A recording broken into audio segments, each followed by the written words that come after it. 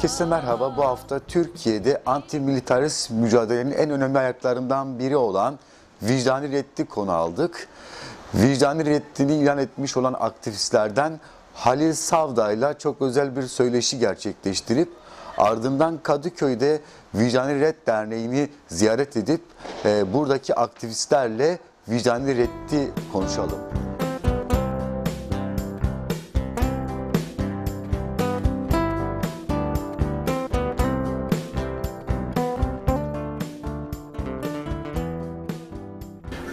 Halil Sav e, antimilitarist e, bir mücadelenin de belki de yani sonuçta temsilcilerinden, aktivistlerden birisi. E, siz e, vicdanı red e, Türkiye'de ilk çıkışları olan ya da işte Avrupa'da nasıl geldi bugüne? Biraz bu anlamda biraz öteki ses e, izleyicilerine bilgi verebilir misiniz? Ee, aslında e, dünyada Birinci Dünya Savaşı'na kadar bütün red hareketleri e, dini e, özellikle e, gelişiyordu. Yani atıyorum dini inançlar nedeniyle insanlar vicdaniyetlerini açıklıyorlardı.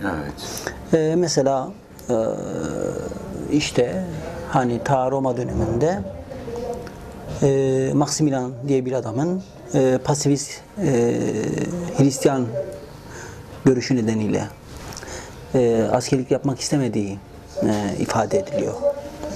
E, yine aynı şekilde mesela e, e, 15, 16, 17. yüzyıllarda benzer e, protestan e, inanışı nedeniyle e, yine e, işte Hristiyanlıktan kaynaklı e, e, pasifist e, fikir nedeniyle insanlar e, askerlik yapmak istemiyorlardı ve e, bir şekilde askerlik yapmak istemedikleri için e, bu insanlar e, ilgili devletlerin, e, iktidarların baskılarına maruz kalıyorlardı. Hatta e, birçok yerde idam edildiler e, insanlar vicdaniyetçi oldukları için.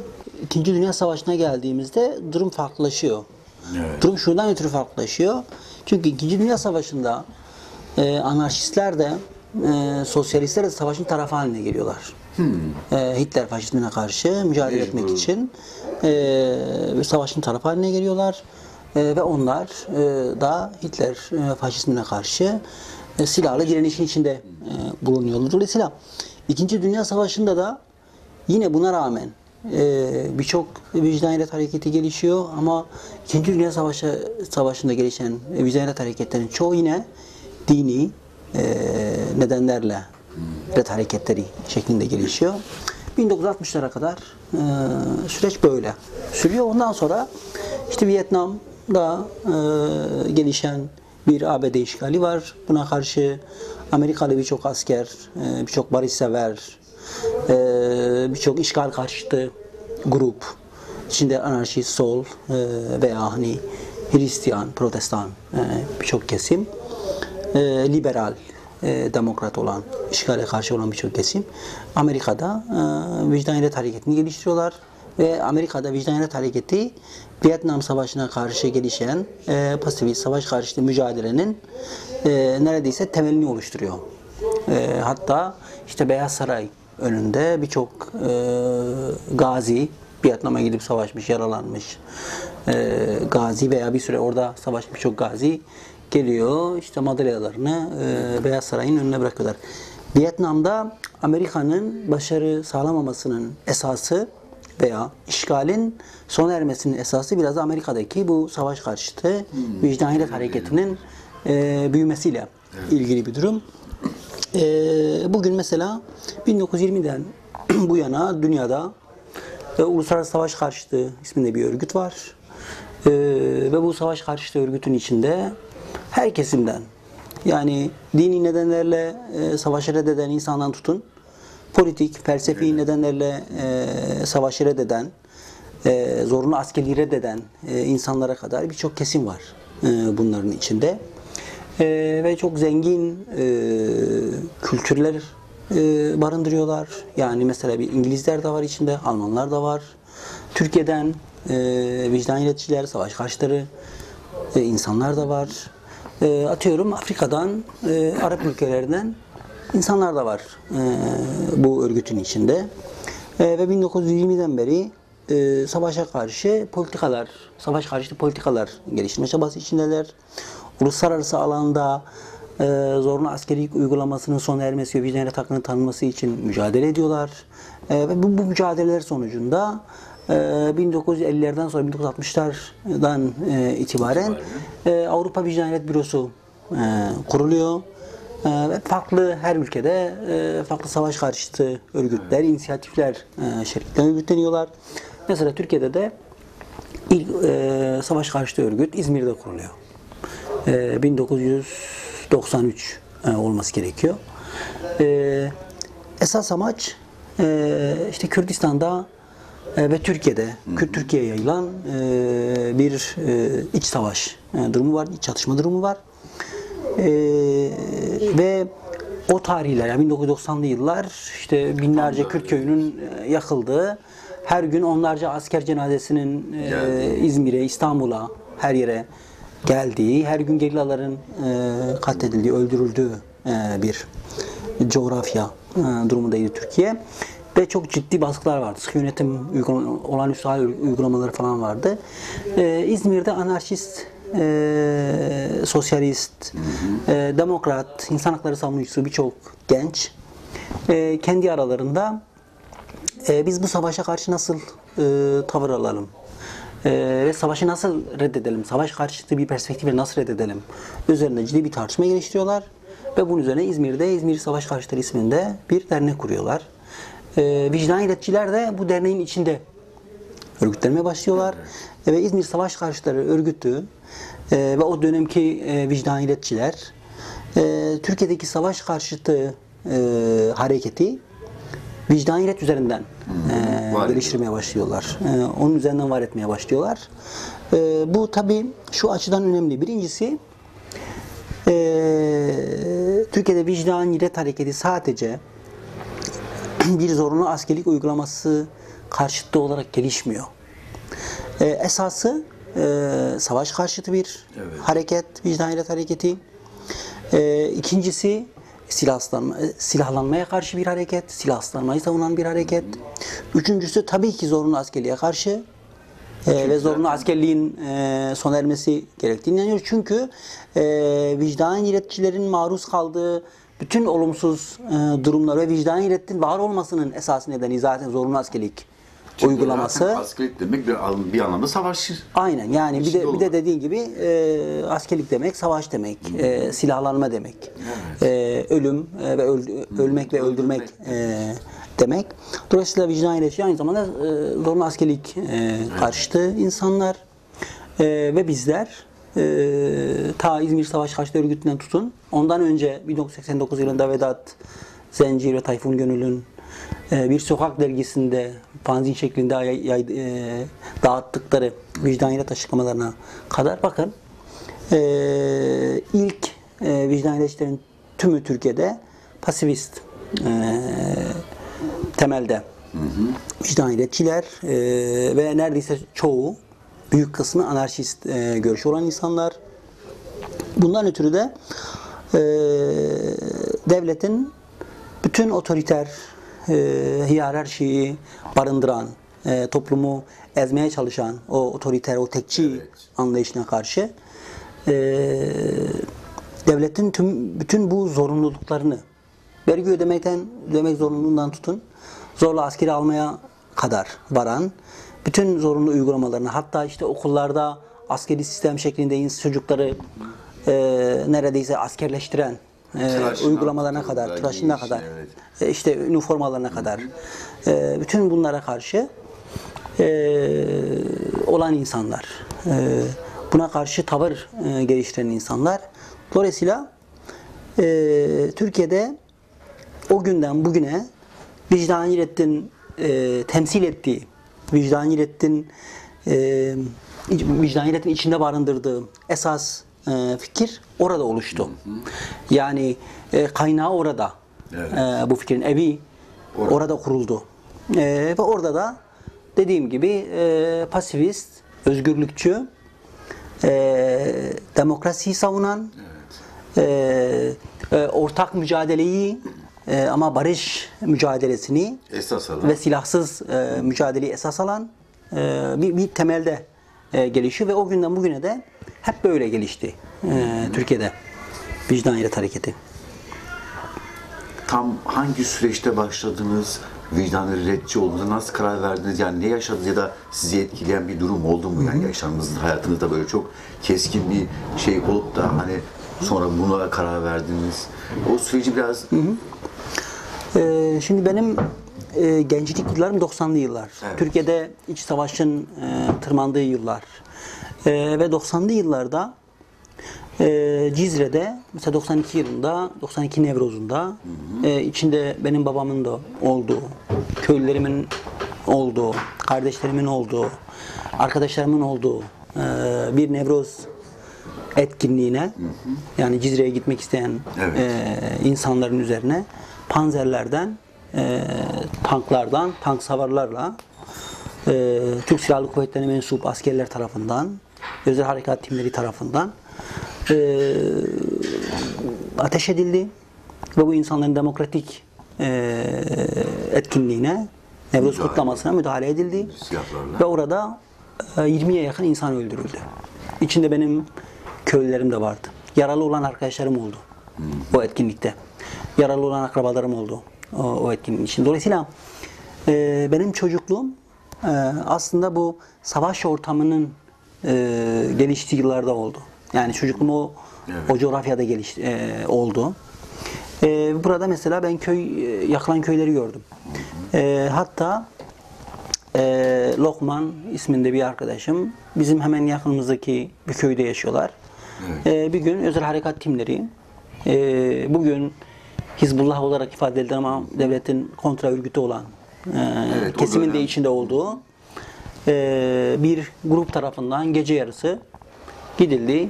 E, evine girdiler Lokman'ın E, ve onunla birlikte annesi de eşi de çocukları da beşe yakın insan öldürdüler e, orada. Ve bu bunlar herkes biliyordu. E, mesela bizim köyümüzde bir karakol vardı orada. E, 12 Eylül döneminde ben çocuktum. İşte 10 yaşlarında falanım yani. 6-7 yaşlarındanım o, o tarihte. E, karakolun bahçesinde e, insanlar ağaçlara bağlanıyordu ve işkence ediliyordu. Bütün bunları çıplak gözle gördüm. Gördüğünüz E, şey. bunları yaşadım. Dolayısıyla e, bu şiddet ortamında bu şiddet ortamında tabii ki e, ister istemez sende de e, bu şiddete karşı e, şiddetle e, kendini savunma fikirleri gelişiyor. Evet. E, ve mesela ben hatırlıyorum o tarihlerde ben gerilere büyük sempati duyuyordum. yani bir Bundan şekilde kaynaklı bir şekilde ona bulaşıyorsun. Ee, şiddet fikirlerinin evet hani e, kendi savunmanın dışında başka bir mekanizma alternatif yok. e, gelişmiyor. E, ve bu yıllar 93 yılında ben yakalandım. Hapse atıldım. E, ve orada çok yoğun işkenceler gördüm. Her e, gözaltına alınan o dönemde alınan her Kürt gibi. Evet, herkes. ben de ciddi işkenceler gördüm. Bir ay gözaltında kaldım. Hapse girdim. Ee, çıktım gene e, 97 yılında bir sefer daha girdim hapse. Yani toplamda yaklaşık 10 yıl hapis yattım ben. Ee, hapis yatmamın esas nedeni de e, Kürt halkının özgürlük e, davasına sahip çıktığım için. Ha, yani aslında vicdan redditin dışında bir Dışında. Evet. Yani ceza bu, 10 tabii tabii 10 yıl. Ee, yani e, işte devletin ifade ettiği işte PKK yardım yataklık, PKK üyelik e, iddialarıyla gözaltına alındım, hapse atıldım. E, çünkü ama e, Türkiye'de Kürt halkının haklarını savunmak devlet nezdinde e, PKK ile özdeş e, oluyorsun e, maalesef. E, Kürt halkının demokrasi, e, demokratik haklarını savunmak PKK ile devlet tarafından özdeşleştiriliyor. Veya silahlı mücadeleyle özdeşleştiriliyor. E, Türkiye'de e, Kürt probleminin çözümünü istemek, hatta Kürt problemi var demek eskiden. E, PKK'li olmakla e, özdeş kılınıyordu. E, ve devlet seni e, düşman olarak görüyordu. E, ve devletin e, hukuk sana işleyen hukuku da düşman e, hukuku olarak e, sana yansıyordu. Ve dolayısıyla bu yıllarda ben yaklaşık 10 yıl hapis yattım. E, şimdi tabii e, 2004 yılında cezam bitti. Hapisten çıktığım gün ellerimi kelepçelediler. Askeri mi aldılar? Ee, jandarma karakoluna götürdüler. Oradan 3 asker nezaretinde ellerim bir askerin eline kelepçelenmiş e, şekilde beni Tekirdağ Beşiktepe e, askeri kışlaya götürdüler. Askerlik yapmam için. Şimdi tabii e, önceki ben askerlik yapsaydım e, kendimi inkar etmiş olurdum. Çünkü e, ben e, 10 yıl hapis yattım. Ve çok yoğun işkenceler gördüm. Benim yakınlarım, e, benim mensubu olduğum e, halk e, çok ciddi işkenceler gördü. Ve bu şiddet nedeniyle büyük mağdur olmuş e, bir halk kesimden bahsediyoruz. Evet. Ben bu şiddetin mağduruyum. Dolayısıyla benim bir şiddeti e, örgütleyen, şiddet üreten bir organizasyonun parçası olmam. Önce kendimi inkar etmiş, olur, etmiş olurdum. Dolayısıyla kendimi inkar etmek e, etmemek için e, askeri üniforma giymeyi e, ve askerlik yapmayı reddettim. Birinci neden o. İkincisi e, Türkiye'de işte 40 yılda bir çatışma süreci var. Evet. E, ve bu çatışmanın e, sonunda her seferinde geldiğimiz nokta bir pata hali. Yani ne e, PKK üstünlük sağlıyor, Türk Silahlı Kuvvetleri'ne ne de Türk Silahlı Kuvvetleri PKK üstünlük sağlıyor. Yani e, enine sonuna geldikleri masa, çözüm masası. Bugün de mesela 3 yıldır e, bir çözüm süreci Evet. ismini e, ismi verilen bir süreç var. Ama hala Ee, ama hala e, tabii bir çatışma riski de var. Ee, zaman zaman çatışmalar yaşanıyor. Mesela birkaç gün önce Ağrı'da devletin yani. e, ge- geliştirmek istediği Ağrı'da devletin, hükümetin geliştirmek istediği bir provokasyon vardı. Ee, dediğin gibi gelgitleri olan e, bir süreç. Dolayısıyla bu pata durumunu görüyorsun. Ve e, çatışmanın dışında yani ne devletin e, işte inkar et, e, işte operasyonda es yaklaşımı e, sonuç alıyor. Ne PKK'nın silahlı mücadeleyle e, işte e, Devam devlete üstünlük sağlama e, durumu yaşanıyor. Dolayısıyla bu pata durumu e, vardı. E, ben o süreçte dedim ki evet yani bu çatışmanın dışında üçüncü bir yol olması gerekiyor. Bir barış yolu, bir barış dilini geliştiren, barış mücadelesini ön plana çıkaran e, bir yolun olması gerekiyor. E, dolayısıyla ikinci vicdan hayret ne- nedenim de e, bir barış arzusu, arzusuydu. Bir barış mücadelesinin yükseltilme arzusuydu. Bu barış mücadelesini yükseltme istemiydi. E, diyelim ikinci neden de oydu. Üçüncü neden Şimdi hakikaten eee, işte Şırnak'ta büyümüş veya İzmir'de büyümüş, işte İstanbul'da, Antalya'da, Karadeniz'de her neyse Tür- Türkiye'nin herhangi Evet. e, bir parçasında büyümüş E, ve 20 yaşına gelen e, gençleri zorla e, onların isteminin iradelerinin dışında e, devletin onlara askerlik gibi bir e, yükümlülük e, yüklemeleri hakikaten çok büyük bir insan hakları ayıbı. Yani Ee, ve insan hakları ve bunun zorunlu olması, e, in- insan hakları e, ihlali. E, bu insanlar zorla ellerine e, şey veriliyor, silah veriliyor. Senin rızan ve iraden olmadan. E, bunu reddettiğinde, bunu yapmak istemediğinde asker kaçağı durumuna düşüyorsun. Ciddi insan hakları ihlalleri ne maruz kalma riskin var senin. E, veya bunu açıktan reddettiğinde, vicdan hayretçi olduğunda işte hapse girme, Evet. işte askeri hapishanede askeri cezaevinde. e, cezaevinde yatma, askeri mahkemede yargılanma, e, zorla ellerin kelepçelenerek e, askeri kışlaya götürme, orada fiziki e, ve psikolojik işkence maruz kalma gibi bir, bir riskin var.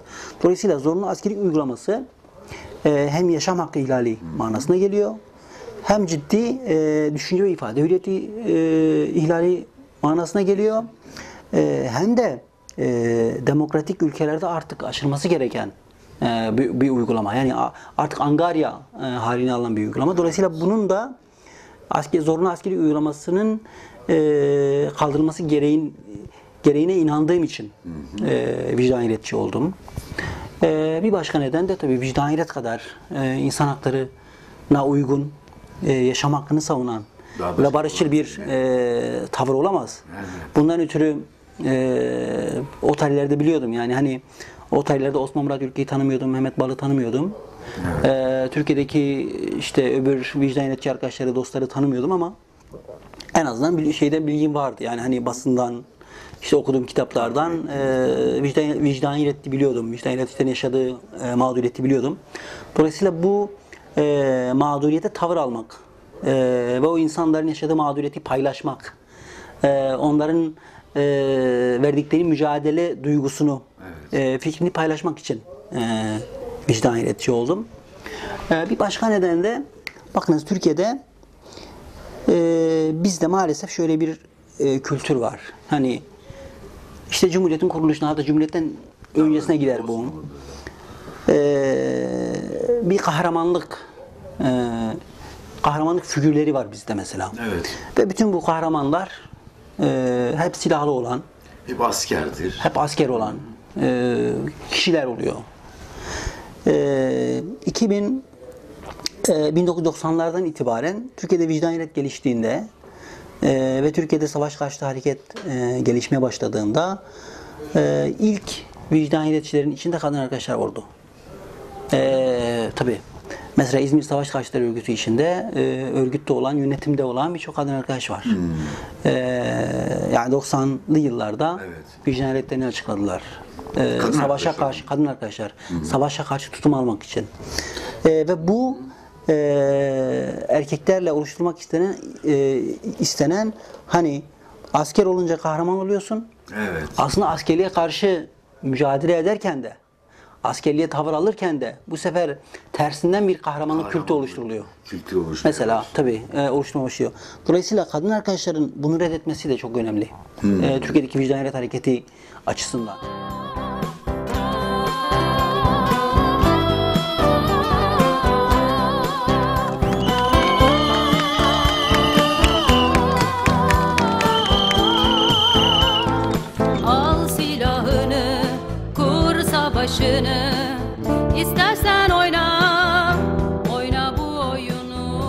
Devletin geliştirdiği bu tahakküm e, kültüründen, bu tahakküm kurumlaşmalarından ötürü, kurumlarından ötürü mağdur oluyor. Öğrenciler okullarda askerler gibi yetiştiriliyor mesela.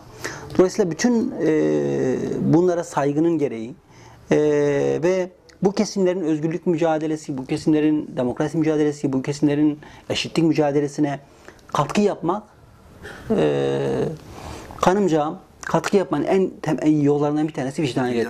e, hareketiydi. Çünkü e, vicdaniyet hareketi ve e, savaş karşıtı hareket Türkiye'de yıllardır iç içe ve özdeş e, pozisyonda. E, Türkiye'de bir e, antimilitarist hareketle vicdaniyet hareketi Türkiye'de iç içe e, ve özdeş durumunda. Türkiye'de feminist mücadeleyle vicdaniyet hep iç içe oldu ve birlikte e, yürüdü. E, Türkiye'de homofobiye karşı mücadele de Yine aslında bir yanıyla vicdaniyet hareketiyle e, vicdaniyet hareketi ile iç içe e, pozisyonunda. Dolayısıyla bütün bunlardan ötürü e, vicdaniyetçi oldum. E, ve hala yani bugün tamam Türkiye'de bir iç e, çatışma durumu şu anda yok. E, geçici bir e, durma durumda umarım tümüyle biter. Evet. E, ama yine hala askerlik, zorunlu askerlik uygulaması var ve 600 bine yakın asker kaçağı var Türkiye'de bugün. Hatta bazıları bunu 1 milyon e, olarak ifade ediyorlar. Zaman zaman Türkiye'de bedeli askerlik tarzı uygulamalar çıksa da hala çok ciddi Bunu bir problem. evet. E, az- azaltmıyor. Yani atıyorum bugün mesela 200 bin kişi gidiyor e, para ödeyerek e, askerlik yapmış oluyor ama e, bu 2-3 yıl için zaten 200 binden fazla insan gene asker kaçağı durumuna düşüyor. Dolayısıyla e, bugün Cumhurbaşkanı olan Erdoğan o gün Başbakanı birkaç yıl önce e, verdiği resmi rakam asker kaçakları bağında 1 milyon insan. Ki ondan Bu daha fazla. tabii daha fazladır muhtemelen.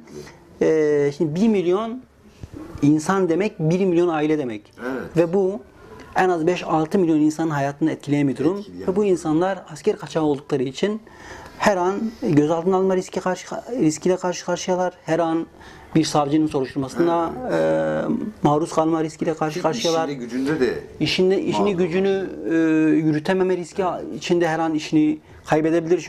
Çünkü gözaltına alınabilir. Veya e, atıyorum bir şirketten atılabilir yani. Hani başvurduğu da- bir işten kabul edilmeyebilir. Evet, kabul askerlik edilmiyor. yapmadığı için.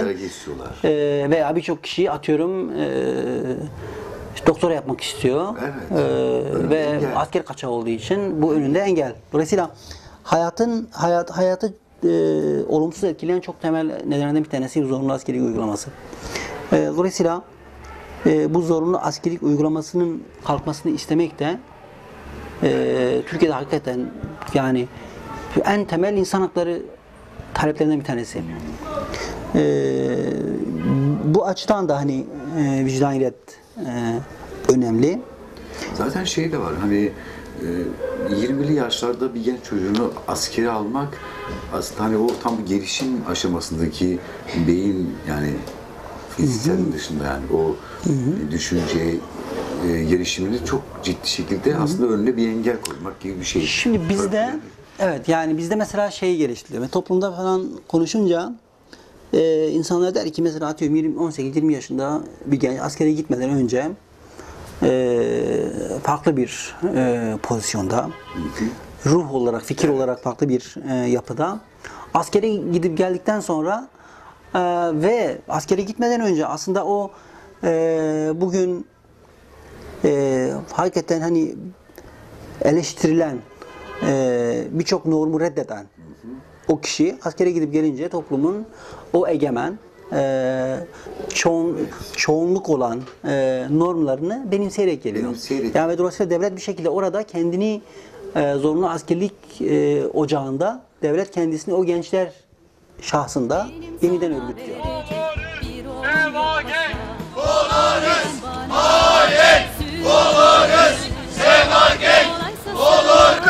96. yıl dönümü olan 24 Nisan 2011'de zorunlu askerliğini yaptığı sırada silah arkadaşı Kıvanç Ağaoğlu'nun silahından çıkan kurşunla katledildi. Yarın 11. duruşması görülecek olan davada cinayetin kazara mı yoksa kasten mi işlendiğini tespit edilmeye çalışılıyor.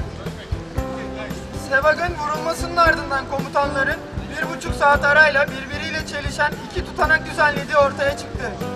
İlk tutanakta katil zanlısı Ağoğlu'nun silahını Seva'ya doğrulttuğu, düzenlenen diğer tutanaktaysa Seva'nın kazara öldürüldüğü yazılmıştır. İki tutanak arasındaki bu farklılık delillerin karaltıl, karartıldığını gözler önüne seriyor. Görgü tanıkları ise ifadelerini değiştirerek Ağoğlu'nun silahını dolduşa alıp Sevag'a ateş ettiğini, Ağoğlu'nun akrabalarının ve komutanların ise Kıvanç Bey'le ifade verilmesi söylediklerini belirtti. Komutanlar cinayetin ardından olay yeri incelemesi yapılmadan silah ve boş kovanları karakola götürüp olayı örtbas etmeye çalıştı. 2011 2012 yılı verilerine göre son 10 yılda 934 yerin intihar ettiği ileri sürülürken çatışmalarda ölen asker sayısının 818 olduğu belirtildi. Kışlada kazayla veya şakayla öldüğü ya da intihar ettiği öne sürülen kişilerin çoğu Kürtler, Aleviler ve Ermeniler. Bu toprakların ötekilerine yönelik gerçekleştirilen bu saldırılar tesadüf değildir. En son 22 Şubat'ta benzer ölümlere bir yenisi daha eklendi. Yetkililer Elazığ'da askerliğini yapan Mazlum Aksu'nun G3 tüfeğiyle sol şakağından kendisini vurarak intihar ettiğini açıkladı. Aksu'nun ailesi ve yoldaşları ise Aksu'nun solak olmadığını, G3 tüfeğiyle sol şakağından intihar edemeyeceğini belirterek bunun bir intihar değil, cinayet olduğunu belirttiler. Yine Ağrı'da zorunlu askerliğini yapan Kürtlere karşı ırkçı saldırılar düzenlendi. Kışlalarda gerçekleşen bu cinayetlerin şaka ve intihar gibi nedenlerle üstü örtülmeye çalışılan unsur, Kürt ve sosyalist olan Masum Aksu'nun ölümünün ardındaki gerçekleri biliyor ve katilleri tanıyoruz. Benim sana verecek bir oğlum yok paşa. Peki sizin çevrenizde yani aileniz olsun, diğer arkadaşlarınız çevrenizde nasıl bu mücadelenize baktılar? Nasıl ilgileriyle Yani- yapma falan. Çok genel olarak desteklendim. Ee, yani mesela sadece e, ailem hani benim maruz e, kalabileceğim Evet. şartları bildikleri için yani Artık- hapse tekrar girebileceğimi e, bildikleri için e, kaçak yaşayacağımı bundan ötürü bildikleri için ve ciddi insan hakları ihlallerine maruz kalacağımı bildikleri için işte köprüyü geçinceye kadar ayı dayı, Dayı de. demek diye bir deyim var ya toplumda. Yani işte işte askerlik bitinceye kadar bir sus, bir, bir şey yapma eee, falan halindeydiler. Ama onlar da benim bu tavrımı görünce onlar da eee, destek oldular. Akrabalarım da, dostlarım da, eee, arkadaşlarım da herkes destek oldu. Teşekkür ediyorum. Bir şey söylemek istersiniz, eklemek istediğiniz bir Ee, varsa. ya umarım e, bu ciddi hani insan hakları ihlallerinin e, kaynağı olan bu zorunlu askerlik uygulaması kalkar ve vicdaniyet hakkı e, yasallaşır. Yani Türkiye'nin demokratikleşmesi açısından da e, bu önemli.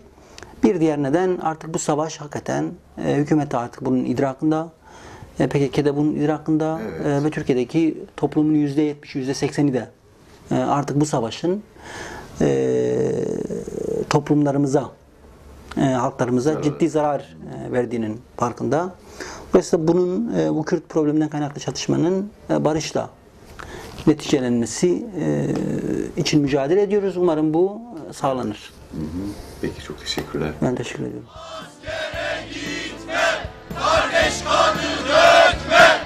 Farklı etnik kimliklere, Türk, Sünni ve erkek olmayanlara karşı üretilen kim ve düşmanlık devlet tarafından her daim canlı tutuluyor. Bu ırkçı söylemin kaçınılmaz sonucunda ise işlenen bütün cinayetler ya cezasız kalıyor ya da göstermelik cezalarla geçiştiriliyor. Irkçı sistem ile yüzleşilmiyor, yaşanan katliamlar inkar ediliyor. Ne ile suçlandıkları dahi bilinmeyen basın emekçileri, öğrenciler, Kürt siyasetçiler, devrimciler, akademisyenler, avukatlar ve sendikacılar sırf düşündükleri, sorguladıkları ve eleştirdikleri için tutsak edilirken Sevat Balıkçı'nın katil zanlısı ilk duruşmada serbest bırakıldı. Devletin bu kanlı ve kirli sisteminde yer almayı, onlardan emir almayı, ölmeyi ve öldürmeyi reddedenler, savaş karşıtları ve vicdaniyetçiler ise uzun hapis cezalarına ve işkencelere maruz kalıyor. Öldürülüşünün ikinci yılına yaklaşırken Sevat Balıkçı'nın katil zanlısı hala aramızda. Tıpkı Madımak'ı yakanların, Roboski'yi bombalayanların, Hrant Dink'in, Marisa Küçük'ün ve failin devlet olduğu tüm cinayetlerin katillerinin de hala aramızda olduğu gibi. Bizler bu topraklarda barışın, özgürlüğün, eşitliğin ve nihayetinde kardeşliğin mücadelesini yükseltmek, Sevat Balıkçı'yı unutturmamak ve ailesiyle dayanışmak için buradayız.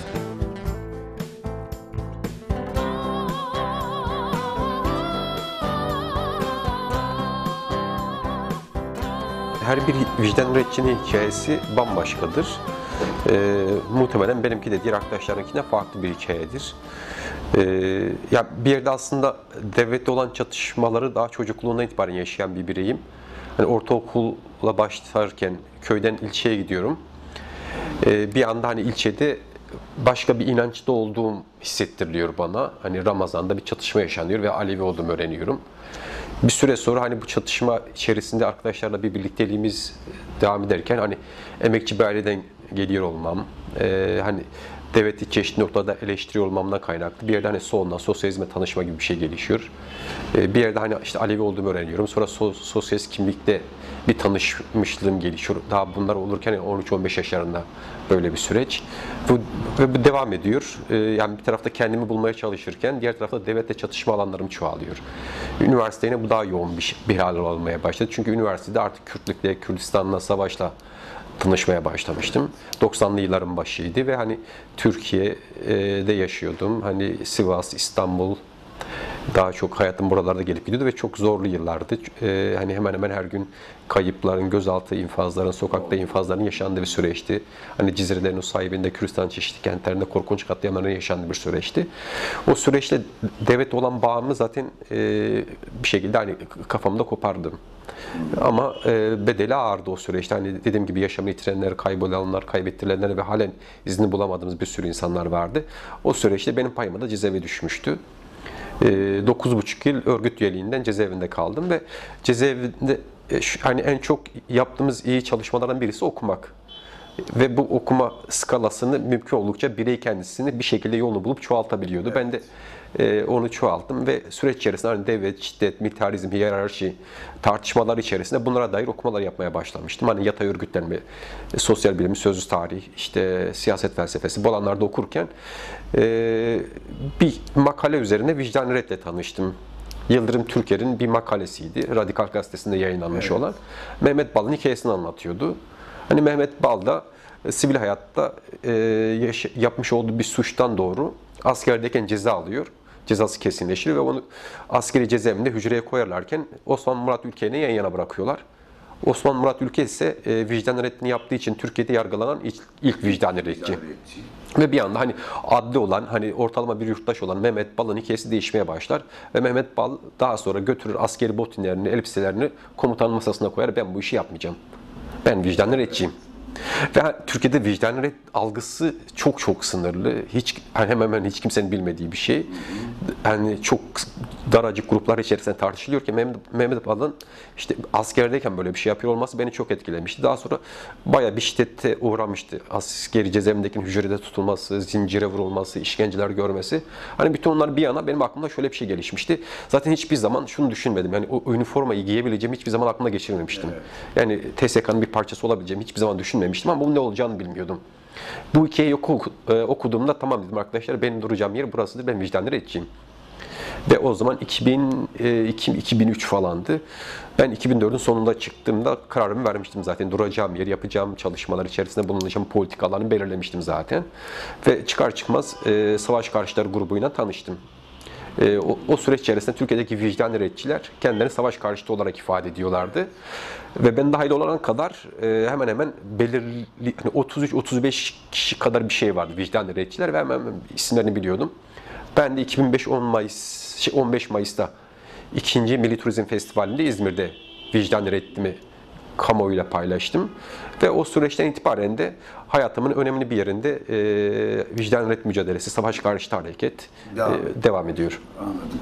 Peki yani Türkiye'de vicdanlı e, red olarak e, İzmir dediniz ya. Evet. İstanbul'da farklı farklı bölgelerde bu tarz örgütlenmeler var mı yani hani dernek olarak veya Evet, şimdi şöyle bir durum var. Vicdan üreticiler çok iyi bir ağ. Yani Türkiye'de ve Kürdistan'da biz bunu çok iyi bir şekilde e, başardığımıza inanıyoruz. Uzun yıllar bu ağ şek- bir ağ şeklinde biz çalıştık. Hani ben İstanbul'da yaşıyor olmama, İzmir'de olmama rağmen İzmir'de kimler var, Ankara'da kimler çalışma içerisinde, Ahmet'te kimler var, Hakkari'de, Yüksekova'da kimler var. Biz bunu biliyorduk. Bir. Evet çünkü Ya. bir araya geldiğimizde hani yılın belirli zamanlarında bir araya geliyoruz ve bu bir araya gelme süreçlerinde birbirimizi tanıyoruz. Bu ağ uzun yıllar devam etti. Mesela Türkiye'de vicdan süreci 89'da başlıyor. Vedat Zencir ve Tayfun Gönül'ün vicdan retlerini e, sokak dergisi üzerinde paylaşmalarıyla başlıyor. Ve hani ben dahil olduğumda 2000 yılların ortalarıydı ve o 89'dan 2000'li yılların ortalarına kadar bu ağ devam etti.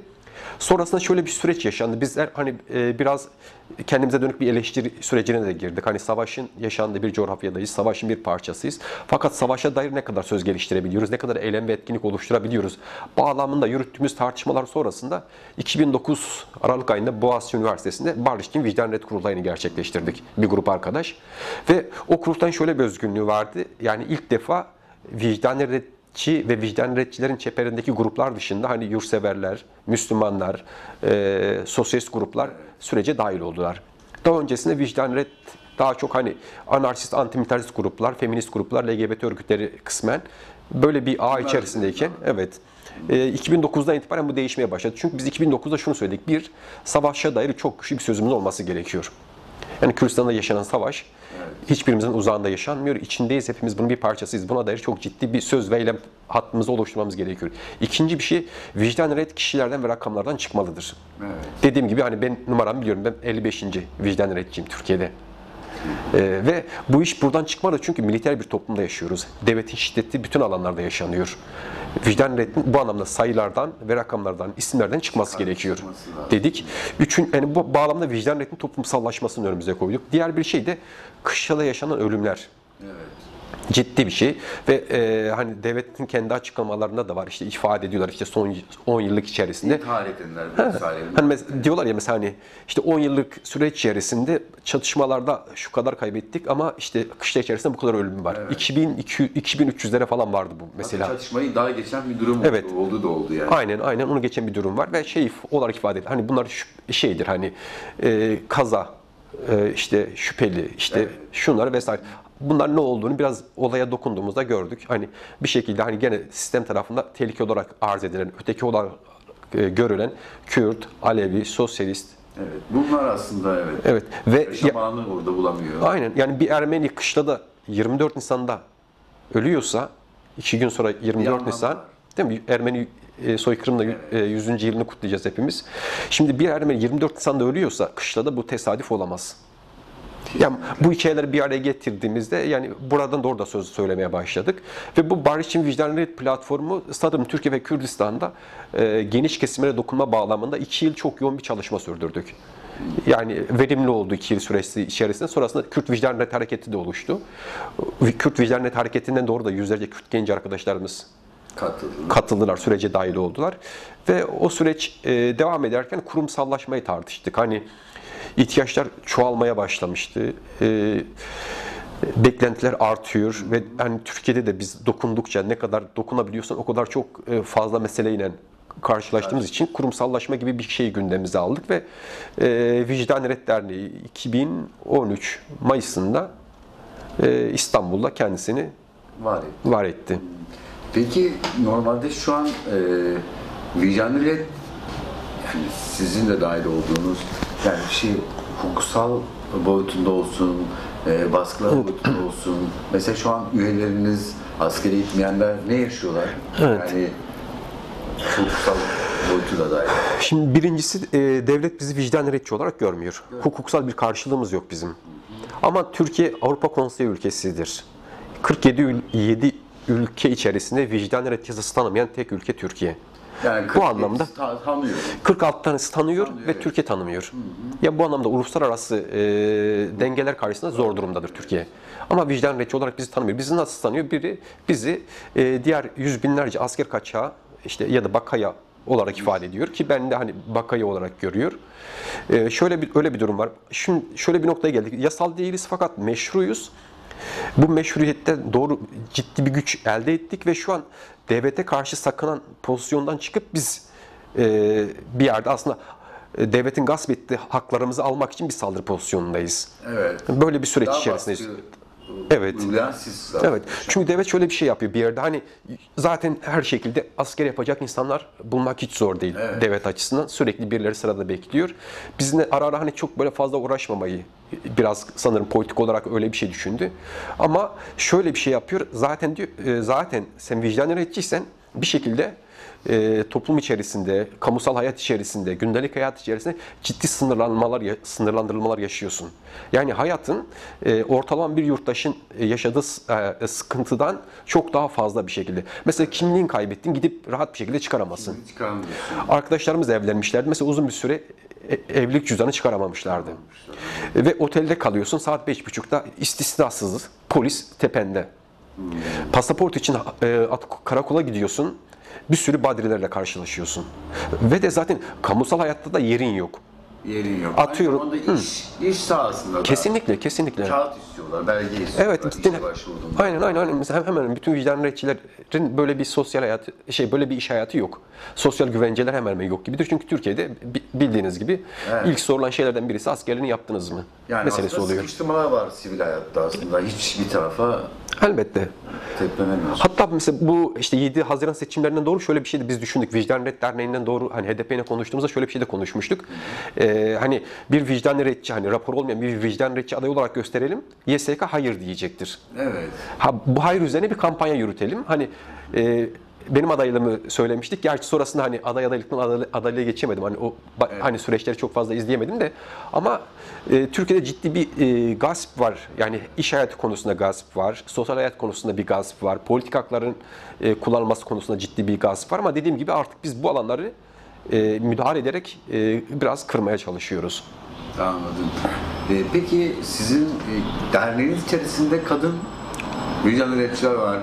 O süreç nasıl yani gelişti? Kadın neden kadınlar? İşte dediğinizde mi aklında sadece askere gide, gidenler, işte gitmek istemeyenler veya o tarz boyutta hep erkek üzerinden düşünüldüğü için hem bir kadın e, vicdan üreticiler neden hani vardır?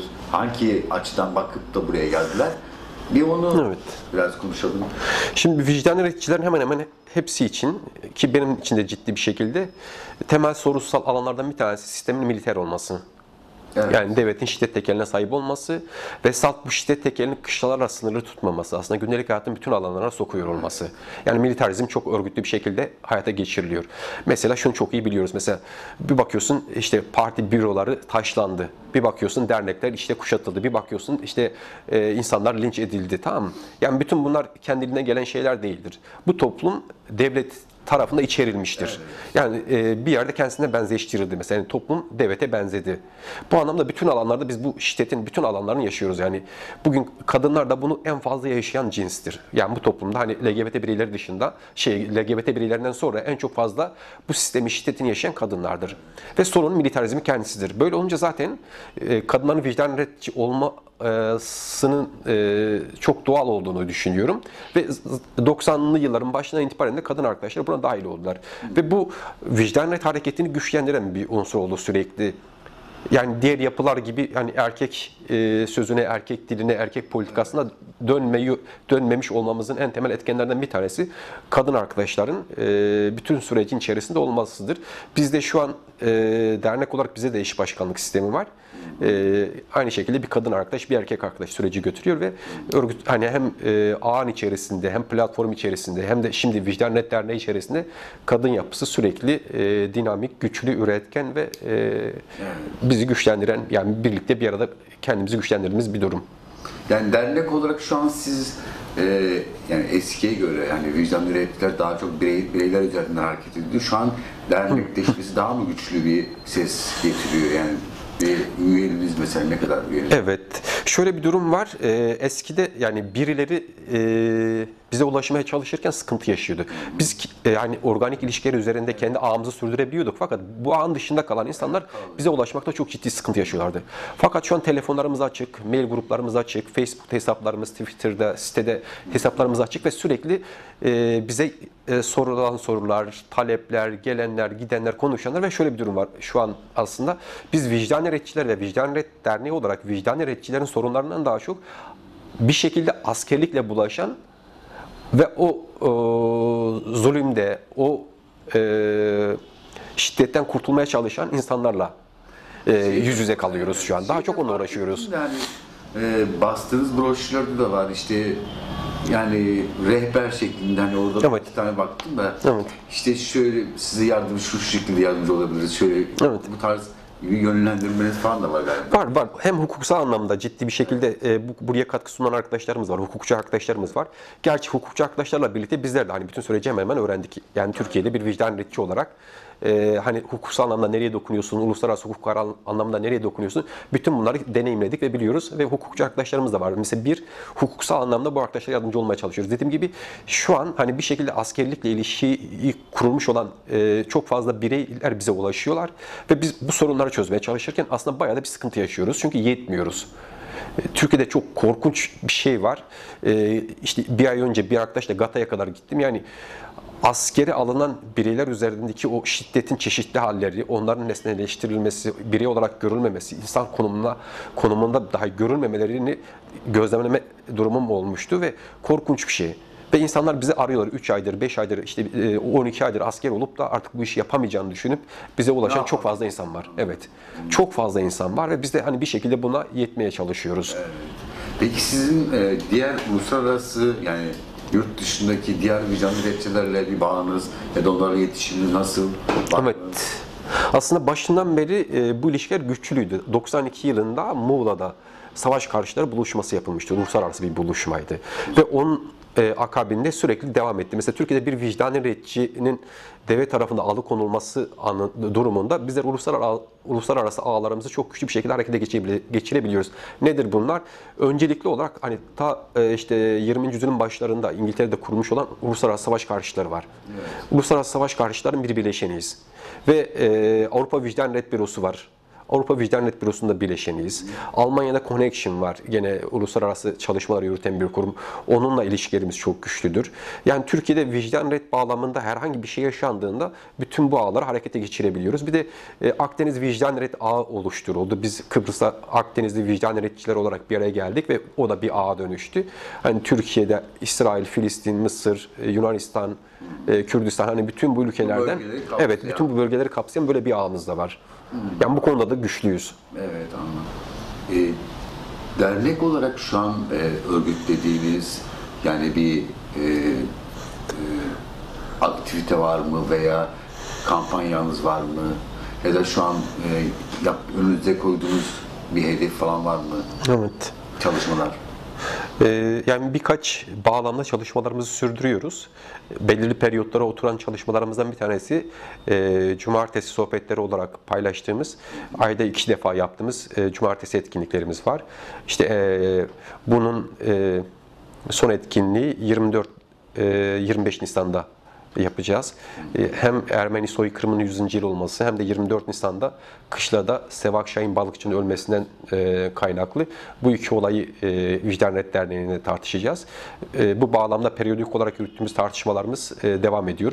Bununla birlikte önümüzde 15 Mayıs var. 15 Mayıs Uluslararası Vicdan Günü. Biz her yıl Uluslararası Vicdan Günü'nde hemen hemen bir haftayı bulan etkinlikler gerçekleştiriyoruz. Bu yıl da aynı şekilde bir etkinlik programımız var. Bir tarafta şunu hazırlıyoruz şu an Türkiye'de GBT meselesi. Evet. E, hemen hemen e, işte yüz binlerce insan, vicdan retçiler ve vicdan retçilerle birlikte asker kaçağı olarak ifade edilen yüz binlerce insan gündelik hayatın hemen hemen her alanda buna karşılaşıyorlar. Dediğim gibi kimlik almaya giderken, sokakta giderken, gece evine giderken, otelde konaklarken, uluslararası yolculuğa çıkarken, pasaport alırken yani bu ciddi bir baskılama aracıdır. Bir bunun üzerine bir hazırlığımız var. Bir de 318. madde. Halka askerlikten soğutmak. E, iki yıl önce bir tane kitap çıkmıştı. Askere gitmeyin çünkü diye. 300 e, aşkın e, işte aktivist, birey, sosyal bilimci, akademisyen vesaire insanlar buna dair bir şeyler sözlerini söylemişler. O kitaplaştırılmıştı. Şimdi ona soruşturma başlatıldı. Ona dair bir çalışmamız var. Bunlar Uluslararası Af Örgütü'ne birlikte yapacağız. Ve şöyle bir şey de var. Her 15 Mayıs'ta kitlesel vicdan nöbetler yapıyoruz. Ee, böyle bir etkinliğimiz olacak. Bir de bu sene ayrıca Heybeliada'da e, hani sokakta biraz şenlik biçiminde e, böyle bir etkinlik e, gerçekleştiriyoruz. Yani 3 programlı e, 15 Mayıs Uluslararası Vicdan Red Günü etkinliklerimiz var. Bununla birlikte şimdiden itibaren Eylül'de e, uluslararası bir vicdan sempozyumu gerçekleştireceğiz tekrardan. Daha önce Bilgi Üniversitesi'nde gerçekleştirmiştik. Bunun ikincisini gerçekleştireceğiz. Böyle bir e, hedefimiz var. Bütün bunları yürütürken de e, işte dernek olarak dediğim gibi hani bize ulaşan çeşitli vakalar, sorunlar üzerine de hem hukuksal anlamda destek e, dayanışmayı sürdürüyoruz hem de bu an genişletilmesi açısından, vicdan redin toplumsallaşması açısından çalışmalarımızı yürütüyoruz. Peki normalde sizin şu an e, derneğinizde kadın üyelerinizden birileri görüşmemiz mümkün mü? Ee, arkadaşlarla Şu an uygun. şu an e, hani dün önceki gün iletişime geçmeye çalıştım. E, Şey- bir Mayıs 1 Mayıs hazırlıkları var. Yoğun bir şekilde arkadaşların içerisinde olduğu e, çalışmalar var. O açıdan uygun olmadılar ama e, her şekilde karşılaşmak mümkündür. o olasılık güçlü yani her yerde karşılaşabilirsiniz vicdanlı kadın arkadaşlarla da. Tamam. Peki teşekkürler. Eklemek istediğiniz bir şey varsa? Ben de teşekkür ediyorum. Başarılar başa Al bombanı Sür tankını Kolaysa sen öl Oğlumu bana bırak